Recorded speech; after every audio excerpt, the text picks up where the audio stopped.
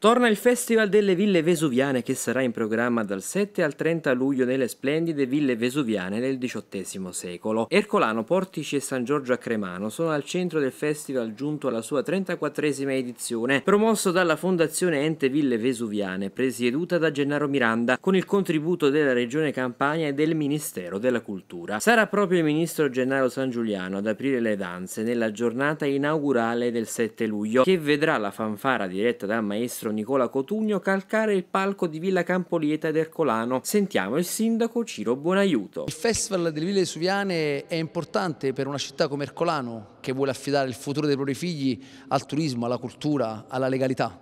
Sono orgoglioso che anche quest'anno il festival sarà un attrattore straordinario per la nostra città. La finalità resta raccontare la storia di questi luoghi, farne rivivere l'essenza e sorprendere lo spettatore unendo il fascino delle performance artistiche alla struggente bellezza delle ville vesuviane del XVIII secolo. Ai nostri microfoni il presidente della Fondazione Ville Vesuviane Gennaro Miranda e Luciano Schifone, consigliere del Ministero della Cultura. Il festival si inaugurerà con uno spettacolo sul, sul tema uh, Ville Vesuviane tra cultura e identità.